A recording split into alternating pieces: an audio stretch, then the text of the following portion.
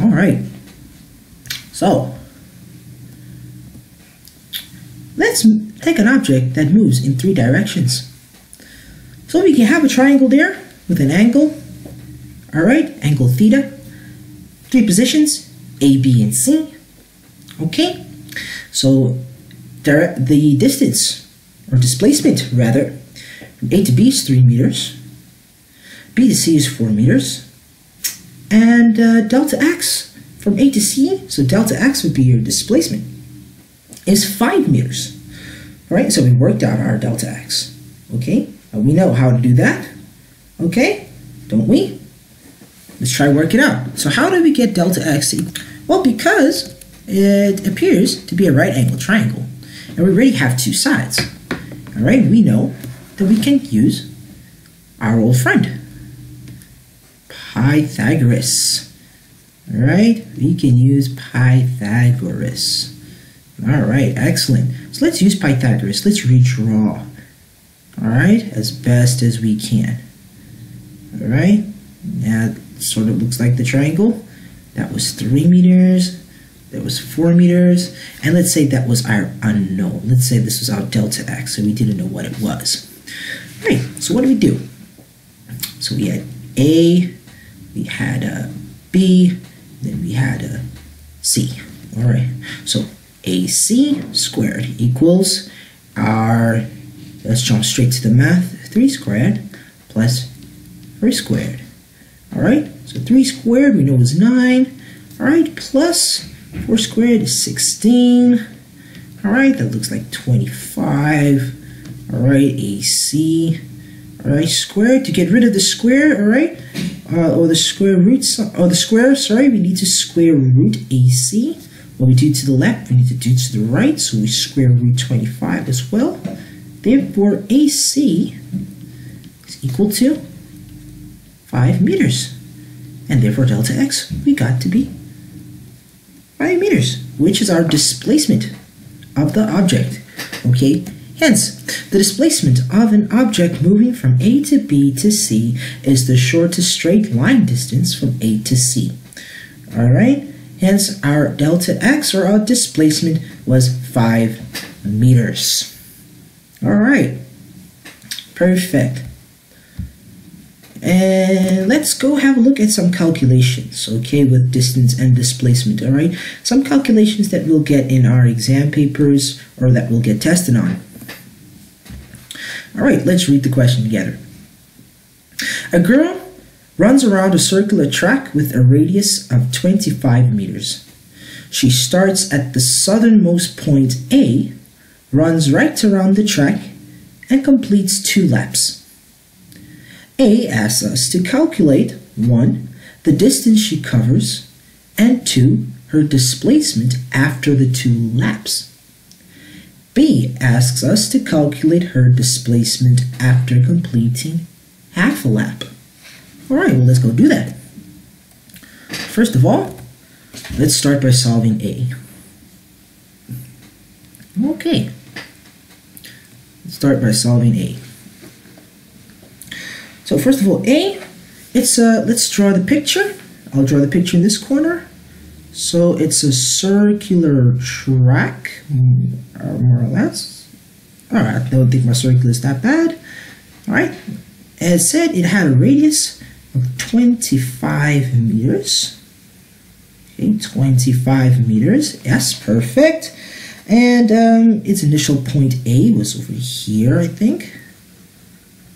All right. That is A, initial point. Okay, perfect. Okay, so she starts at the southernmost point, that's A, all right, and she runs right around the track and completes two laps. Okay, so let's have a look at the first one here. The first part says, all right, we need to calculate the distance she covers. So the distance that she covers, okay, first of all, we know that the circumference of a circle right? The circumference of a circle equals to 2 pi r. We have the radius, we know what pi is, so 2 times pi times 25 gives us an answer of 157.08 meters. Right? And the question, therefore, it was she ran two laps. So after two laps, all right, all we have to do is take 2 times by our circumference of the circle or of the track and we get an answer of 314.16 meters. That is her total distance. All right? That is her total distance. So therefore, little d for distance equals to 314.16 meters. Perfect. Now the second part of A asks us to calculate her displacement. All right, so delta x now.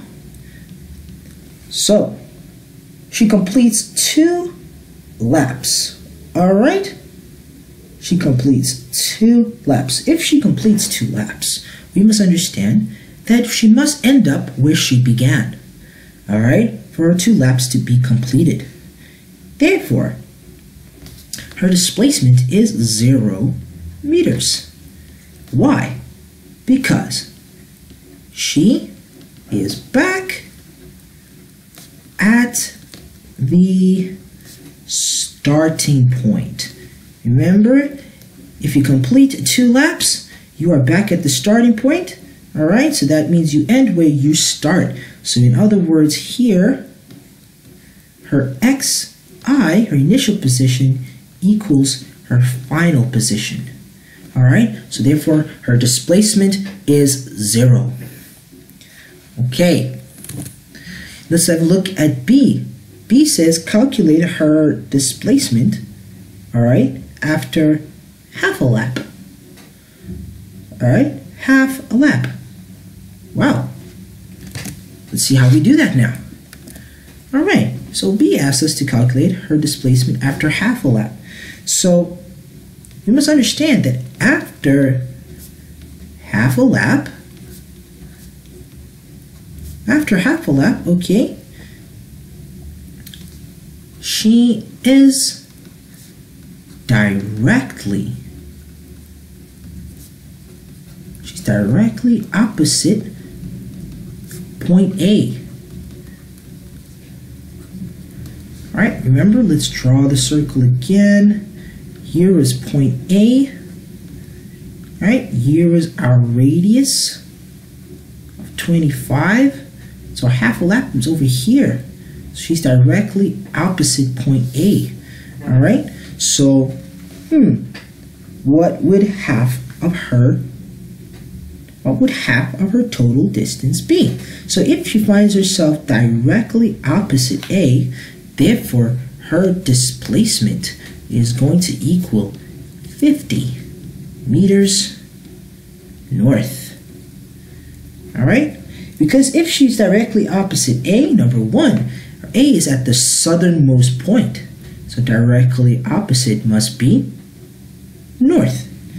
All right? Because she's in the south position, so she must be in the north position if she's half, if she completes half a lap. All right. Perfect.